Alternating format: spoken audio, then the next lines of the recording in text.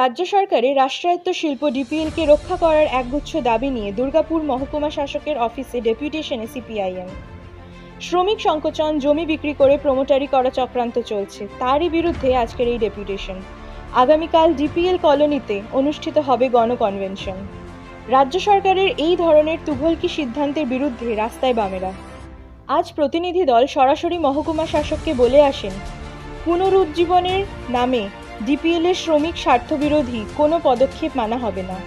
দীর্ঘদিন ধরে বস্তিতে বসবাসকারী মানুষকে উচ্ছেদের পরিবর্তে পাট্টা দিতে হবে। ডিপিএলের শিল্পকে রক্ষা করার ডাক দিয়েছেন বামেরা।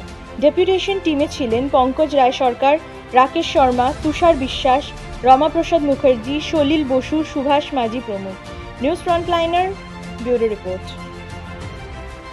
DPL সাম্প্রতিককালে ডিপিএলের কারখানা নিয়ে এবং এই কারখানা ধ্বংসের জন্য রাজ্য সরকার যে পরিকল্পনা বা ব্লুপ্রিন্ট করছে ডিপিএলে ওয়ার্কার কমিয়ে দেওয়া এবং হচ্ছে ডিপিএলের ল্যান্ড প্রমোটারদের কাছে বিক্রি করে দেওয়া ডিপিএলের এজন এবং সিজনে যারা লিগ্যাল অকুপেন্ট থাকে, তাদের হচ্ছে বিজনে শিফট করার জন্য তুল্যবী সিদ্ধান্ত এবং তাকে পঁচিশে জুলাইয়ের মধ্যে হচ্ছে অ্যাক্টিভ করতে হবে।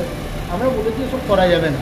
এবং ডিপিএলে বিভিন্ন জায়গাতে আমরা দেখেছি, প্রায় তিরিশটার উপরে বস্তি আছে, যেখানে কুড়ি হাজারের উপরে মানুষ বসবাস করে, দীর্ঘদিন ধরে বসবাস করে আছে মমতা ব্যানার্জি দু হাজার পনেরো সালে ল্যান্ড পলিসি হচ্ছে ঘোষণা করেছিলেন যে পাঁচ বছরের উপরে যারা আছে, তাদের সেই জায়গায় জমি সত্ত্ব দিতে হবে।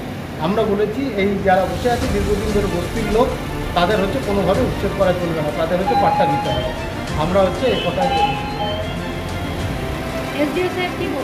বললেন? উনি হচ্ছে পাঠাবেন বিএমকে এবং আমরা বলেছি যে নতুন প্রজন্মের চাকরির জন্য বিপিএলের আর্নিং প্ল্যান ইন্ডাস্ট্রির জন্য ব্যবহার করতে হবে। অন্য কোনো কারণে ব্যবহার করা যাবে না। উনি বলেছেন যে আমরা কথা বলতে যাতে হচ্ছে যে আর্নিং প্ল্যান ইন্ডাস্ট্রির জন্য ব্যবহৃত হয়, নিউ এমপ্লয়মেন্ট জেনারেশনের জন্য আমরা কথা